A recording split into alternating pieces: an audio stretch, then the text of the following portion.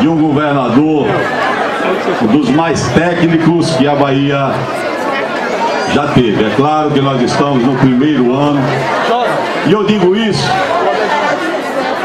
porque as pesquisas últimas que saíram do Brasil, o governador Rui Costa foi o terceiro colocado no Brasil inteiro.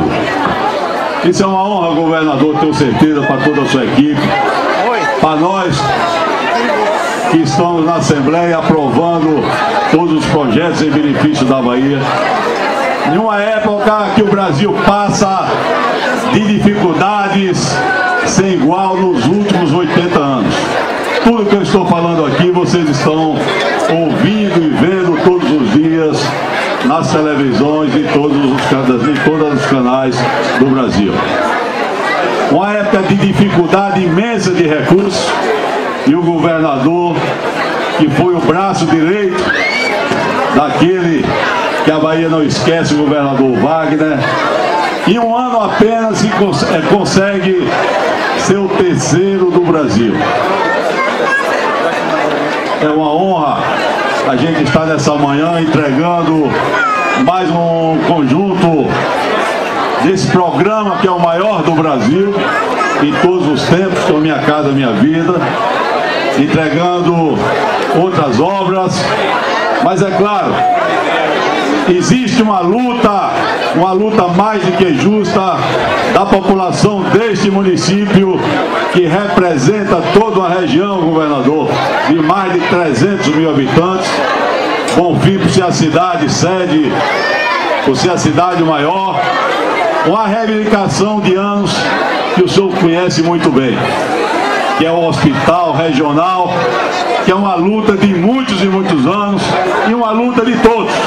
Não a luta do Adolfo, não a luta de poucos deputados, não só do prefeito, de todos os políticos, de todo o povo que gosta e precisa desse hospital, que o senhor sabe perfeitamente da necessidade.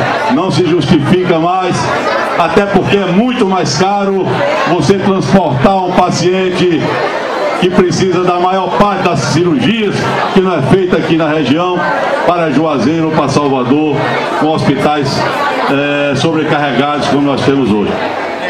Tenho certeza, Vossa Excelência, que está no programa construção desse hospital regional, com mais outros na Bahia, que o senhor não começou ainda pelas dificuldades financeiras.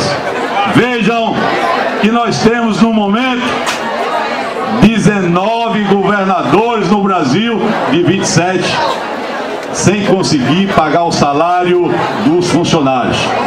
Desde quando eu me entendo como gente, eu nunca vi em minha vida um governador de qualquer estado que seja não conseguir pagar o salário dos funcionários. Isso está acontecendo no Rio de Janeiro, no Rio Grande do Sul. O Rio de Janeiro, que depois de São Paulo é o estado mais rico do Brasil, que tem o dobro do orçamento da Bahia, não, quase 100 bilhões de reais, enquanto a Bahia 40 bilhões. A Bahia que tem a maior parte do seu território no semiárido, que vocês sabem das dificuldades e o governador tem conseguido honrar todos os seus compromissos.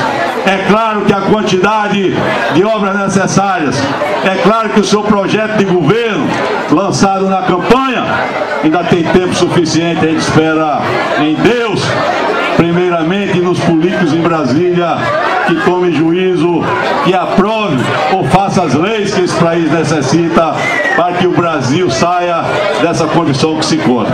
Tenho certeza, governador, nesses três anos que me faltam, o senhor vai ter a oportunidade de vir aqui a senhor do Bonfim apresentar aquilo que o senhor prometeu durante a campanha.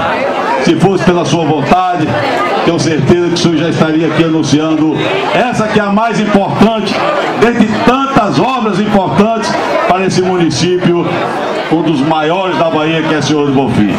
Então, queria pedir a compreensão do povo, que é claro que as necessidades são todos os dias. É claro que a gente queria ver tudo realizado o mais rápido possível.